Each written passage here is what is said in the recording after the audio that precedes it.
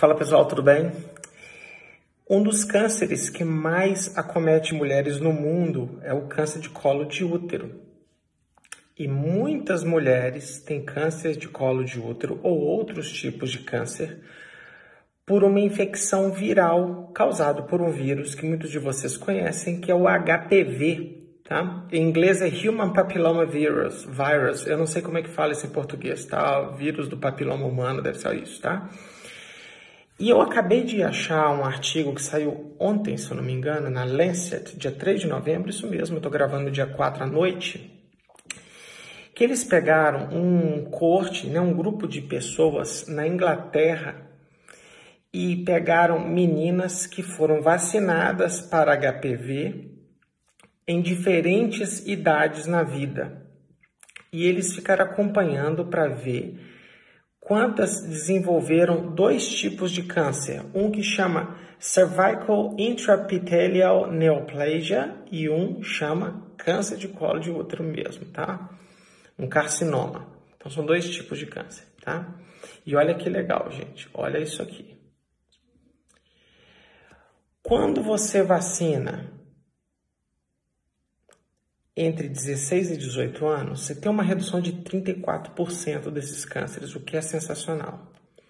Se você vacinar de 14 a 16 anos, a redução sobe para 62. E se você vacinar de 12 a 13 anos, o câncer cai para 87.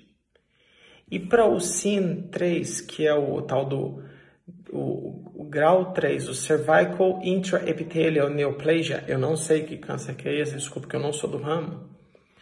As reduções, se você vacinar de 12 a 13 anos, é de 97%. É um puta do estudo gigante na Inglaterra. E a conclusão do estudo é muito forte. Ele fala assim: a imunização para HPV, ele praticamente eliminou câncer de colo de útero em meninas que se vacinaram entre 12 e 13 anos. Isso é uma coisa muito foda aí. Primeiro, é mais uma prova que esse tipo de tratamento de imunização funciona para várias doenças, para câncer, galera. Mas aqui tem um negócio do timing. E eu leio isso com muito cuidado, porque eu tenho uma filha que vai fazer oito anos daqui a uma semana. E eu não tenho nenhuma dúvida num caso desse que a minha esposa não teve condições de ser exposta a isso, porque eles comparam meninas que vacinaram com quem não vacinou, não teve oportunidade de vacinar. A minha esposa não teve a chance de ser vacinada, porque naquele momento não existia esse tipo de vacinação aqui no Brasil. Esse tipo de vacina é disponibilizado gratuitamente pelo SUS, mas você pode vacinar em clínica particular. Então, eu acho que é uma é simplesmente uma maravilha da ciência essa notícia.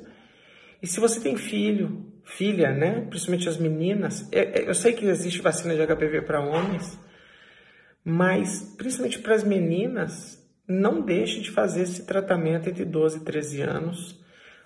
Parece que você pode vacinar até mais cedo aqui no Brasil, se eu não me engano, é aos 9, antes da maturidade sexual, que é onde você acaba pegando esse vírus, que é comum de pegar, mas você elimina uma consequência catastrófica tá bom? Então, se você é um pai de menina como eu, não se esqueça, coloca no seu Google Agenda, numa agenda eletrônica, que no aniversário de 12 anos, você tem um ano de janela de oportunidade para levar sua filha num posto de saúde, receber uma vacina, não importa quanto que custa essa vacina, porque literalmente ela pode evitar uma ocorrência de um câncer que pode atrapalhar toda a, né, a longevidade dessa pessoa tá bom? Espero que vocês tenham gostado desse vídeo. Eu vou colocar o paper no Stories, tá bom? Para quem quiser ler. Um abraço. Tchau, tchau.